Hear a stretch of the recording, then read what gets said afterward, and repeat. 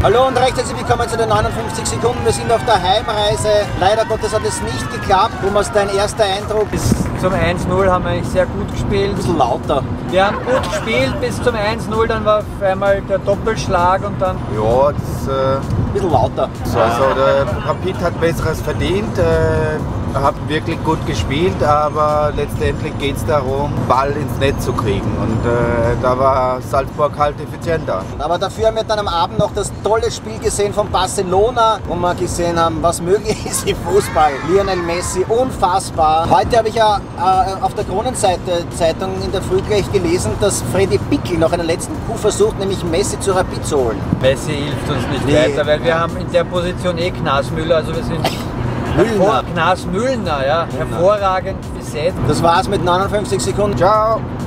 Lei, lei. Vergesst nicht zu abonnieren, bleibt uns treu. Wieder.